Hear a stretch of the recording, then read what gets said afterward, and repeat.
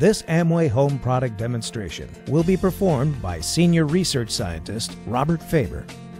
To perform this demonstration, you will need Amway Home LOC Multi-Purpose Cleaner, black shoe polish paste, a white handkerchief, and a bowl of warm water. This demonstration shows how Amway Home LOC Multi-Purpose Cleaner can remove an impossible stain such as black shoe polish from hands, while also showing how it cleans up after itself by removing the resulting polish stains from the handkerchief as well.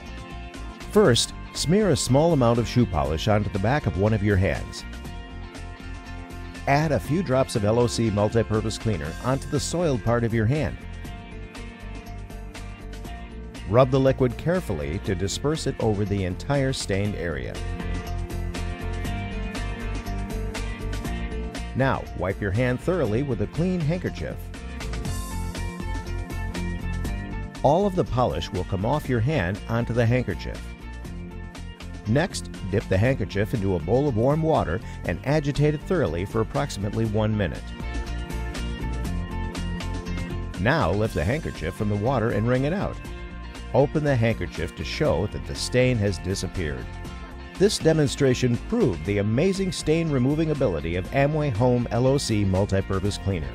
Not only did it clean up a notoriously tough to remove stain from the skin, but it also removed the stain from the handkerchief used to wipe the soiled hand.